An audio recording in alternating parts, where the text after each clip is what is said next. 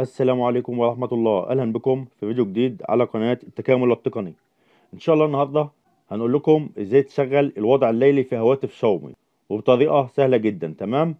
بس قبل ما نبدأ الشرح بنتمنى لو أنتم أول مرة تشوفوا فيديوهاتنا تشتركوا في القناة وتفعلوا الجرس على الكل علشان أول ما نعمل أي فيديو جديد يوصل لكم إشعار بيه.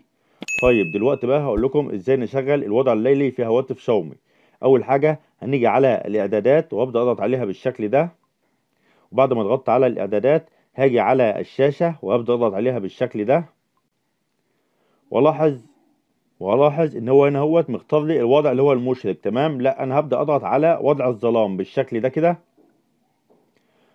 وهنلاحظ إن كده الهاتف بقى في الوضع الليلي أو وضع الظلام بطريقة سهلة جدا في هواتف شاومي.